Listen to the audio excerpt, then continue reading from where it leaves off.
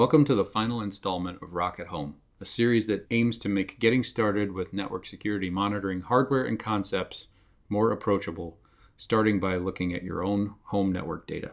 In previous episodes, we talked about what a network sensor is, the core components that make up Rock, how Rock NSM is different from other security distros, and the basic topology for network spanning and tapping.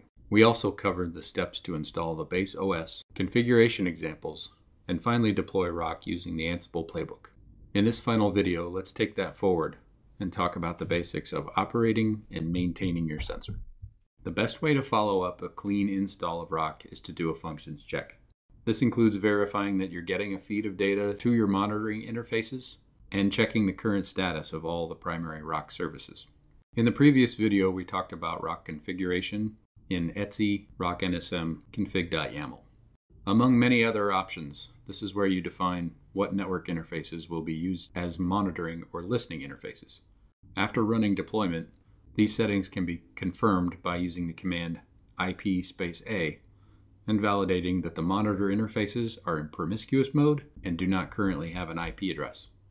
We can take things a bit further and do a temporary dump of the live packets on an interface using TCP dump.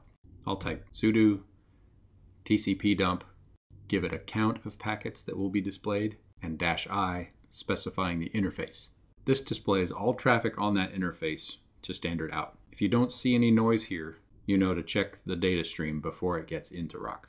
If you're generally familiar with systemd, you'll know that the command used to manage services on a modern system is systemctl. With Rock, we've provided a wrapper to control services called ROCCTL. Rock control works in bulk to start, stop, clear the failed states of services, and display the status of Rock components. Let's run ROCCTL status and demonstrate a key point involving Stenographer, which is our solution for raw packet capture. You'll notice a few things in this output. Number one, the current state of all the services, and two, that there are multiple entries for Stenographer. To clarify this, Stenographer will have a child process for every interface that it uses to capture traffic. Let's make sure that Rock services are up and running by issuing the command sudo rockctl start. And then follow with a status to validate everything is running. Once we know that we've got data coming into a sensor and that all the things are up and running, we can finally get into that fantastic interface that is Kibana. With the latest version of Rock, Kibana is served over a TLS connection and is secured with a username and passphrase generated a la XKCD. The username and passphrase is saved to a file in the home folder of the user created at install, for example, slash home slash admin.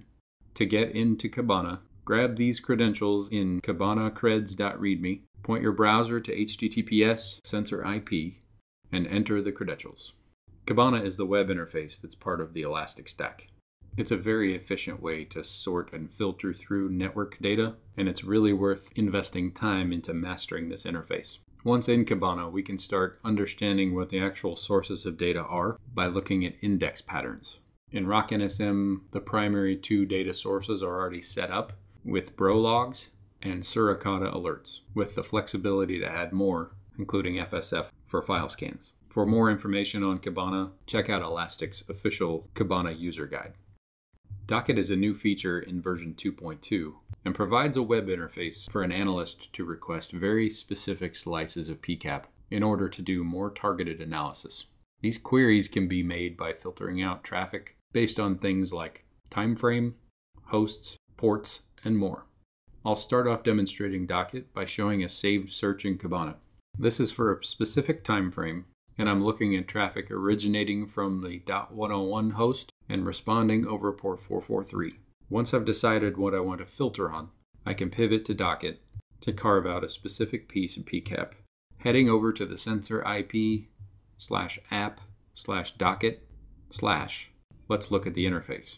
The sidebar shows the tab to make queries and also the jobs tab that shows a history of requests that can be referenced later.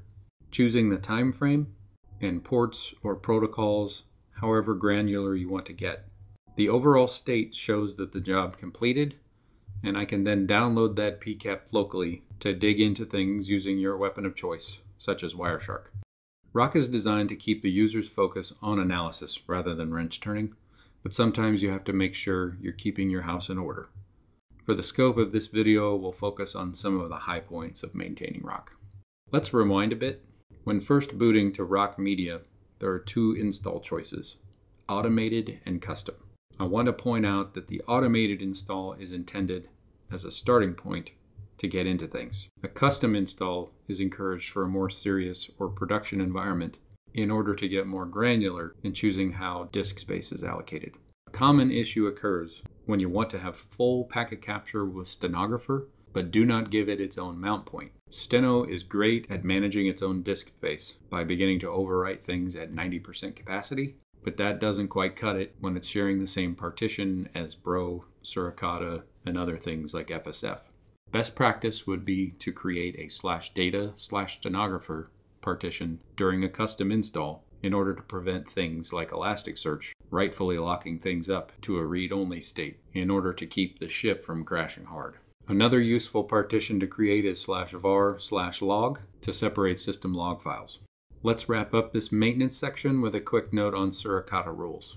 Much like our personal devices, notifications and alerts can quickly move from informative pieces of information to just plain unhelpful noise. This is true with IDS alerting. All these settings can be found at slash etsy slash suricata. False positives combined with unneeded rule sets and classifications can make things overwhelming. So be sure to look at how Suricata is configured out of the box and tune to provide value to your specific environment. So that wraps things up for this Rock at Home series, and hopefully it answers a lot of questions and breaks down some barriers for people to invest the time and start learning all things NSM. We've covered a lot of topics that are often standalone courses, and it's expected to have follow on questions and problems that need to be solved. Your first stop should be the official documentation found at rocknsm.io. And please join our community support site at community.rocknsm.io. Rock is an open source project and always will be. We couldn't be more grateful to our community of users and contributors. We're continually moving the project forward, so be sure to follow at RockNSM on Twitter for the latest updates. Thanks for your time and rock on.